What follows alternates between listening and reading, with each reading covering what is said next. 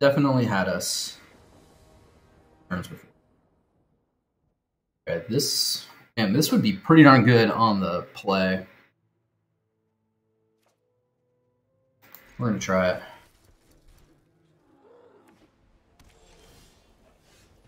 Hmm. That was a good draw. Allows us to curve out much better. So we're gonna play Okiba Reckoner Raid.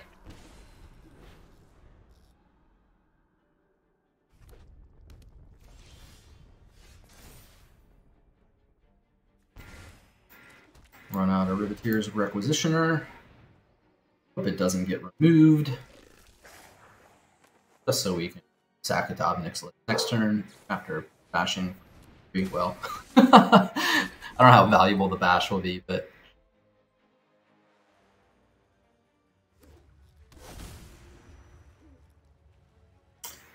this is why in the deck tech I talk about uh, um, hmm.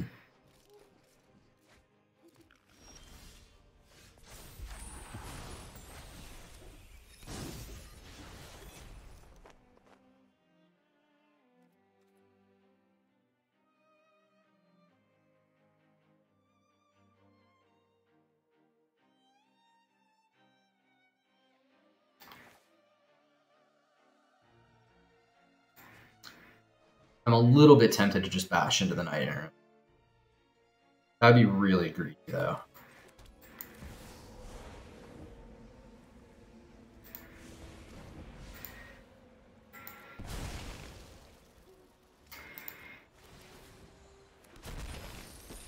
So we're going to do a thing we don't often do here, and minus both of them.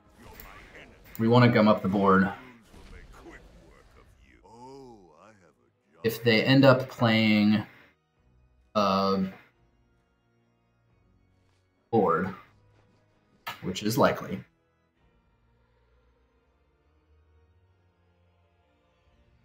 It'll get worse, but if they happen to not have a lord,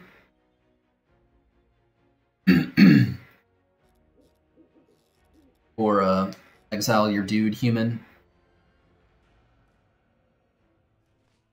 turn around decently next turn.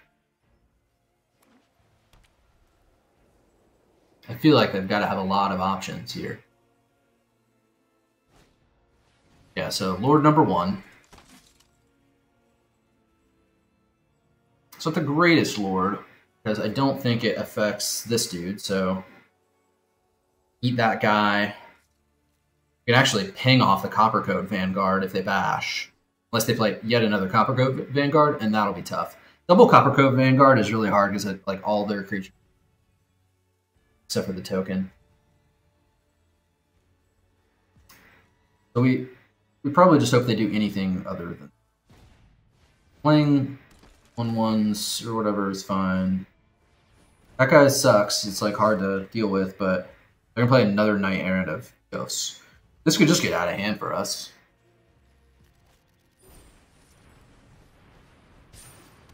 It whiff pretty hard.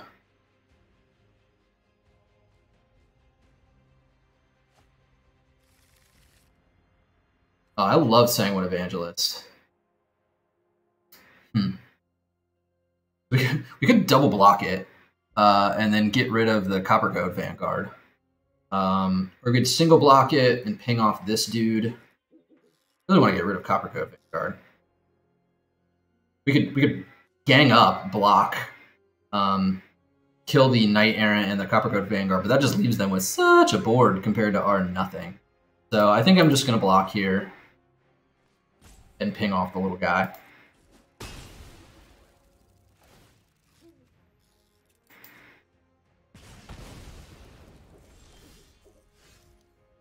Hmm.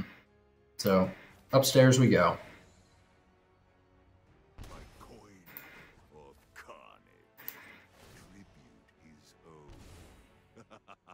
Drains aren't the worst. Probably just run out both of these.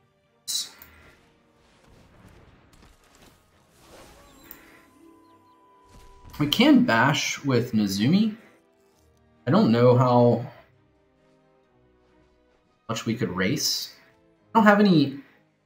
Gosh, they just have. They're gonna have so much stuff to come up the board. I feel like a blocker is preferable.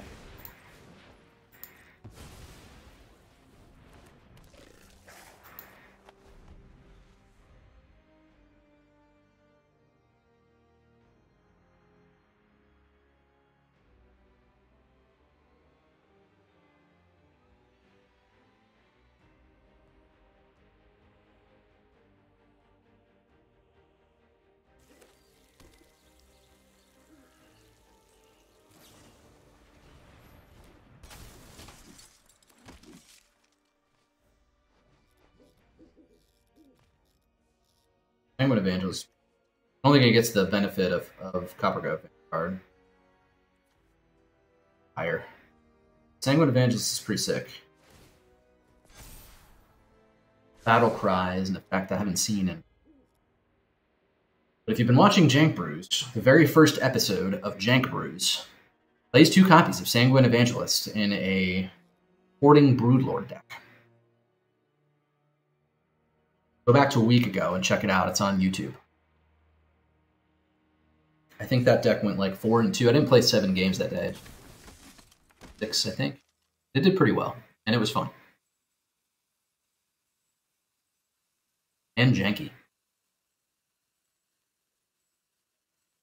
I have no idea how I pushed through here.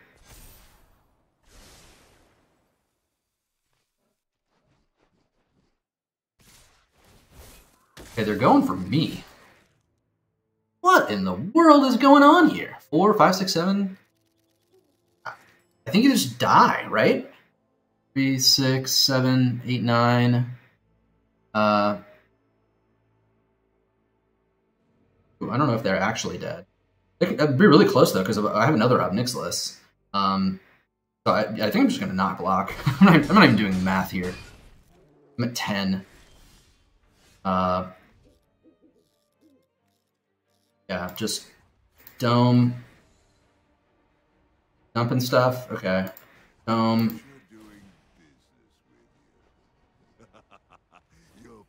Um, but I'm going to get two more shots. So I'm like 99% sure we got him here because uh, Sanguine Evangelist. Oh, like two of them too. Yeah.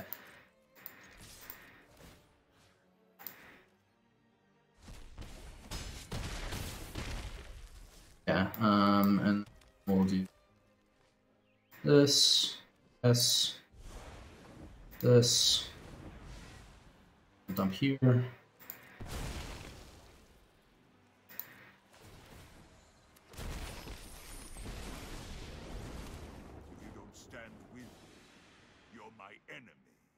Uh, I think it's this one here. Uh, it's hard for me to tell which is which, but uh, I think it's the one with, yeah, it had had a, like an active thing going on. We'll take it. 4 0. That was far and away the most difficult. And I still think our opponent misplayed. I, I don't know what I would have done if I were them. This is why Ob Nixilis is good. It's difficult to decide against.